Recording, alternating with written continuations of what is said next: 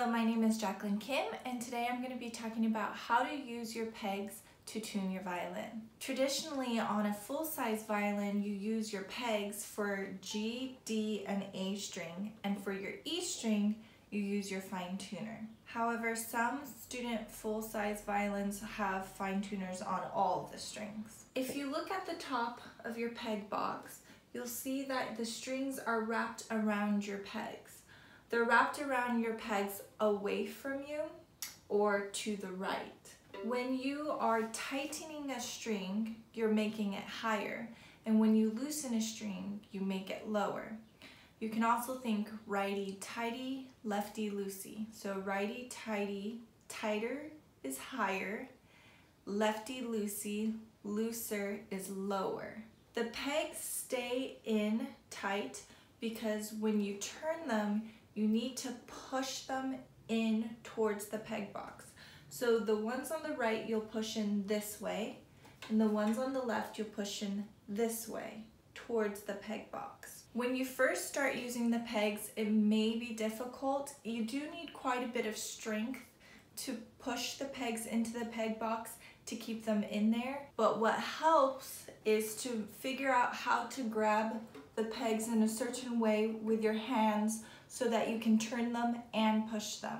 Sometimes our pegs are turned in a way that makes it difficult and if your peg is flipped or up and down or sideways and it's uncomfortable for your hand position, you can unravel the string and re-string your string so that the peg is in the correct position that makes it easier for you to tune. Traditionally, we start tuning with an A string. When you're tuning, you want to have at least two fingers gripping the peg and then one finger on the other side so that you can push towards whichever direction you need to. For A string, remember we're pushing towards this direction. Some people like to go lower first and then higher. So if you turn your peg to the left, I made the string lower and now I'm gonna go back up.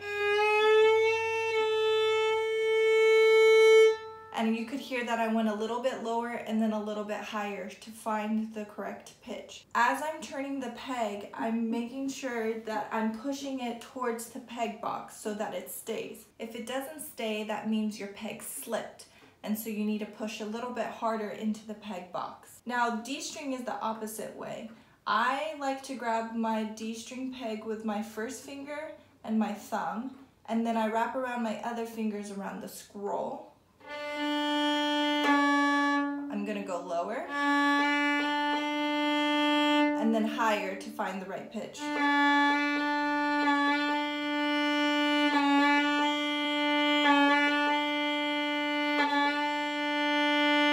And it might take a couple of tries to get there. You might find that uh, I can't find the right pitch. Well, you just keep trying, keep wiggling, do a little bit different motions, maybe a little bit bigger, a little bit smaller. So some people like to do it that way, where they start lower and then they bring the pitch up. But some people like to go higher first, just like this.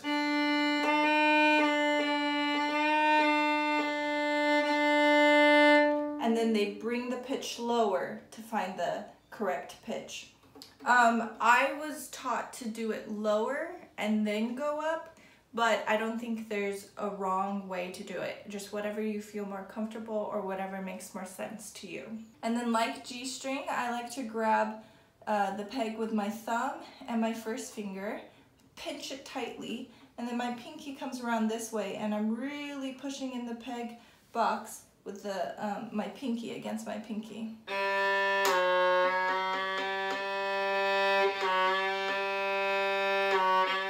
E string, you usually tune it with your fine tuner. The reason why we use the fine tuner for E string is because the E string is very, very thin. So if you use the peg, a lot of times it snaps, it breaks, and so we try to avoid that by using a more gentle method of tuning, like the fine tuner. However, when you first string your E string, you will have to use the pegs, and if your strings slips, you'll also have to use the peg.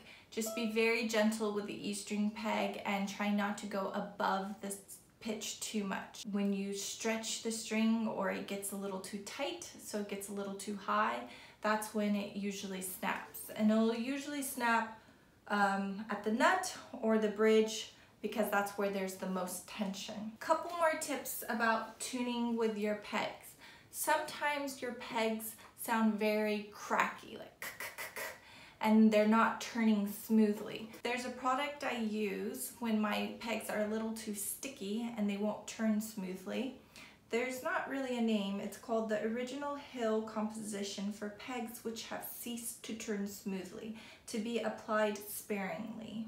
I'll leave a link in the description below if you'd like to purchase this. And it looks like this.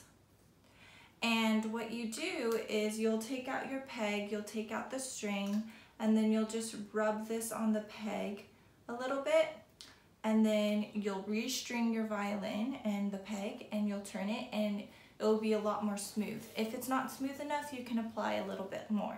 And then with the opposite problem, you might have a peg that's very smooth, that keeps slipping and it doesn't feel like there's enough grip. If that's true, then you use a little bit of graphite, just a regular pencil. So the same way, you take out your peg, you take out the string, and you just kind of scratch on the peg a little bit, and then you put it in and it has just a little bit more friction which will help keep the peg still inside your violin. When I teach my students how to use their pegs, the two most common problems they have are one, they're not using enough strength, and two, it feels very awkward. If you watch other people tune their violin, everyone's hand shape is a little bit different and everyone's position is a little bit different. So you really have to find what works for you. I even see some people lean up against their knees so that they have a little bit more strength. And then for my A string, sometimes I do like to grip it like this and I'll even put my hand right here so I have some sort of friction or leverage so that I can push my peg into the box a little bit more. So you have to figure out what works for you and you just have to do it a lot. The more you tune, the better you're gonna get at it. One thing to be cautious about when you're first learning how to tune your pegs is to keep an eye out on the bridge. Remember that our bridge is quite fragile and it's not glued down to the violin. So as you're pulling your pegs, pushing your pegs, and you keep turning them away from you, the tension of the strings is pulling this way. And so when you keep pulling, pulling, pulling, the bridge starts to lean and you don't want it to lean. You want it to be sticking straight up. So if it's leaning, you need to fix it, put it back, or you can ask your teacher to do that for you, but keep an eye out on the bridge and make sure that it's not leaning too much. If you have any more questions about tuning or using the pegs, please leave a comment down below and I'll see you in my next video. Thank you!